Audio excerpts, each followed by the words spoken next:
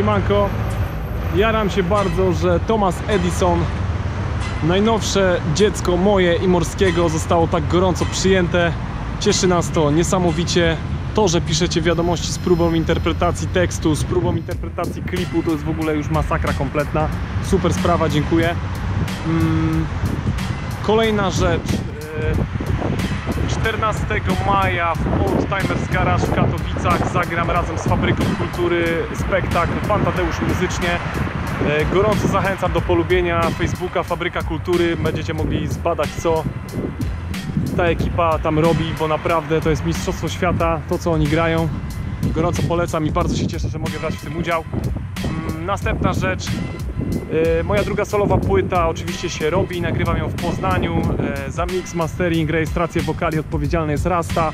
Rastul Studio do polubienia na Facebooku, można sprawdzić produkcję tego człowieka. E, Ręczę za to, że wszystko co wychodzi spod jego ręki, spod jego ucha brzmi mistrzowsko.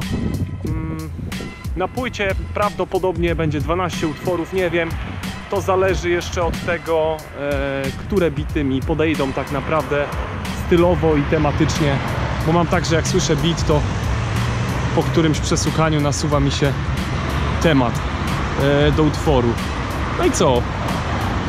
Zachęcam gorąco do subskrybowania mojego kanału, do podawania materiałów dalej, szczególnie do sprawdzania nowego traku Thomas Edison. Jak jeszcze nie widziałeś, nie widziałaś, no to trzeba nadrobić zaległości.